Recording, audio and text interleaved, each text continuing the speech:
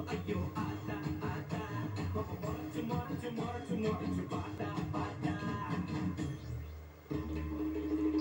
Friends நான் உங்கள் மக்கத்து மலர்லேருந்து பேசுகிறேன் கேட் மக்கத்து மலர் கேட் அவங்க எல்லோரும் லைக் பண்ணுங்கள் ஷேர் பண்ணுங்கள் கமெண்ட் பண்ணுங்கள் எங்களுக்கு ஆதரவு நீங்கள் பண்ணுங்கள்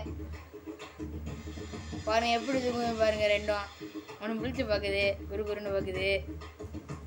அது ஏதாவது ஒன்று அப்படியே எப்பா இருக்குது. தூங்குது